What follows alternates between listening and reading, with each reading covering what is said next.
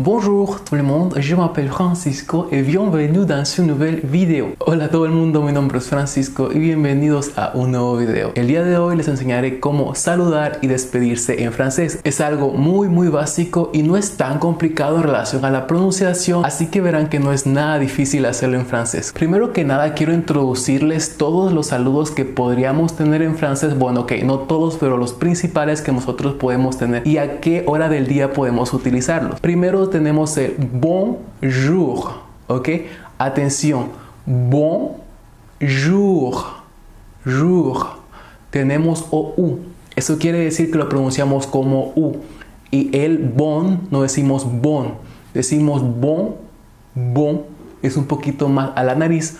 Bonjour. Y la R francesa sería como la J en español, pero es verdad que acá en México hacemos como la J un poquito más aspirada. Entonces, bonjour, bonjour. Y esto lo decimos desde el comienzo de la mañana hasta las 5 de la tarde si quieren más o menos y es muy utilizado, es muy neutro. Podemos utilizarlo con los amigos, con la familia, con personas que no conozcamos, con nuestros jefes, no importa con quién. Después de las 7 de la noche utilizamos bonsoir, ¿ok? Hay que poner atención.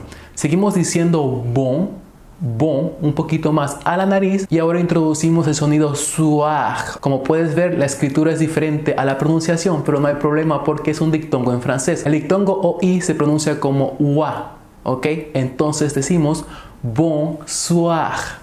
Bonsoir después de las 7 de la noche cuando llegamos a un lugar para decir buenas tardes o buena noche. Una manera un poquito más informal de llegar y saludar a alguien a cualquier hora del día que sea nuestros amigos, nuestra familia es el salut.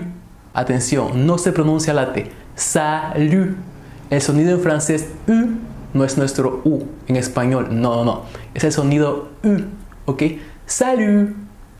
Salut. De la misma manera tenemos el cucu. Atención porque nos presentamos una vez más con el dictongo o u. Cu. Este dictongo suena como nuestra u en español. Cucu. Cucu. Tenemos como que un sonido de el reloj si quieren. Cucu. Cucu. Esto no es algo que yo haya utilizado mucho durante mi estancia en Francia, pero no quiere decir que no sea utilizado. Tal vez podría ser con los amigos, con tu pareja, con quienes tenemos algo más de cariño. No lo sé en qué contexto podríamos utilizarlo, pero también se utiliza como saludo informal. Ahora vamos con lo que son las despedidas. En francés vamos a introducir tres despedidas. Tenemos el au revoir.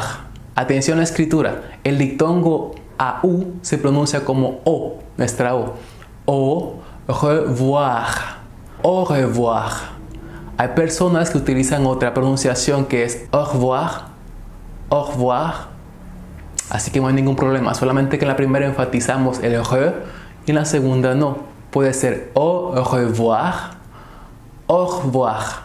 ¿Ok? Cualquiera de las dos está bien. Salut puede significar hola y salut puede significar también adiós. No hay ningún problema, se puede utilizar tanto cuando llegas así como cuando te vas, pero hay que poner atención porque simplemente se utiliza con las personas que nosotros conocemos. De la misma manera tenemos algunas expresiones que nosotros podemos utilizar cuando nos estamos despidiendo, cuando estamos deseando un buen día, una buena tarde, una buena noche. Cuando llegamos generalmente decimos bonjour durante la mañana hasta las 5 o 6 de la tarde si quieren. Pero cuando nos despedimos, atención, hay maneras distintas de despedirse y de desear algo en francés. Con decir algo me refiero a un buen día, una buena tarde, una buena noche, etc. Durante la mañana cuando los despedimos nosotros utilizamos bon journée. Bon journée. Como estamos hablando después de las 12 del día, utilizamos la expresión bon après-midi bon après-midi. ¿Ok? Corrido suena como bon après-midi. Atención porque en francés tenemos algo que se llama la liaison. La liaison de qué se trata? Se trata de unir consonantes con vocales para que hagan un solo sonido y se escuche un poquito más fluido. Así que decimos bon après-midi en un francés corrido, bon après-midi. Bon après-midi. Ojo, hay que poner atención porque cuando ya es un poquito más tarde y nos vamos a despedir de alguien, atención, cuando está en un restaurante, cuando va a hacer tal vez esa persona algo más durante la noche, decimos bonne soirée, bonne soirée, deseándole una buena noche, bonne soirée, bonne soirée. Pero ojo, solamente es cuando esta persona va a continuar con su noche. Cuando sabemos que esta persona no va a dormir o cuando esta persona tiene que hacer algo antes de dormir. ¿Ok? Para cuando la persona ya va a dormir y cuando ya va a dirigirse a su cuarto, ya no va a hacer nada más, o por lo menos nosotros pensamos que no va a hacer nada más, decimos bonne nuit. Bonne nuit. Bonne nuit. Bonne nuit. Bonne soirée cuando nos estamos despidiendo de alguien y esta persona continuará haciendo algo o tal vez vaya a salir. Y bonne nuit sería cuando una persona ya va a dormirse. Bonne nuit, bonsoir. Tenemos algunas otras expresiones para despedirnos en francés y como tal vez nos vayamos a volver a ver durante el mismo día. Tenemos a bientôt, a quiere decir hasta pronto en español, a bientôt, a. También tenemos lo que es a plus tard. A plus tard sería como que hasta más al rato, si quieren, a plus tard. Cuando tal vez nos vayamos a ver dentro del mismo día. A plus tard. No se pronuncia la S. A plus tard. Cuando vamos a ver a la persona con la que estamos hablando el próximo día, decimos a demain. A demain. A demain. A demain. Hasta mañana. Además, hay muchísimos más saludos, pero estos son los más primordiales que ustedes pueden saber y pueden identificar más que nada cuando están escuchando a un francés o cuando están teniendo una conversación introductoria con un francés. De la misma manera podemos hacer la pregunta, ¿cómo estás? Y en francés existe una expresión que nos puede salvar de muchas cosas. Esa expresión es ça va, ça va. Esto quiere decir todo bien, ¿Cómo estás? Y es muy común en la lengua de todos los días en Francia. Ça va, ça. Y la respuesta a esto sería ça va. Hay que poner atención a la entonación. La pregunta como en español, ¿ça? Y la respuesta sería ça va. Se escribe y se pronuncia de la misma manera. Atención solamente a la entonación que se le da. Ça va, pregunta, ça va. Respuesta. Hay algunas personas que quieren precisar el ça y dicen ça va bien, ça va bien, ça va bien. Y la respuesta puede ser ça va bien, merci. En este caso el merci es gracias. Ça va bien, merci. Y generalmente el ça en todos los casos es un poquito más informal. No vas a llegar a hablar con tu jefe o con una autoridad francesa y decirle ça va, o alguien que no conozcas, no. Generalmente se utiliza con la familia, con los amigos y con personas que existe alguna confianza. No solamente utilizarlo porque sí. Atención, cuando nos dirigimos a alguien que no conocemos, nosotros decimos, ¿cómo allez-vous? ¿Cómo allez-vous? ¿Cómo allez-vous? ¿Cómo allez-vous? Y la respuesta sería, je vais bien, merci.